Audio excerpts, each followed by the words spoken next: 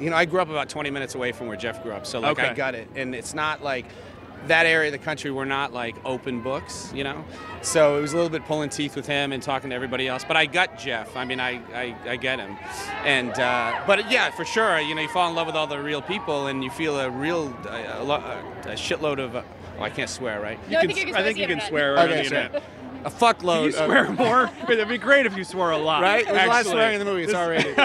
uh, yeah, I mean, you feel a ton of responsibility because you like fall in love with everybody, and you're like, I don't want to screw this up, and Yeah. you want to be, you know, something that it's a really tough look at him, but honest, and it, it's not, it's not, you know, sugar coated at all. So that was really hard to, to, to tell him to sort of trust it and really go to some of these really dark places. Yeah. Um, And you know, he didn't really know that the movie was going to go as dark as it was because I really did my journalistic work, and you know, there was a lot of stuff that I was like, damn, I, I didn't no idea that was going to end up there.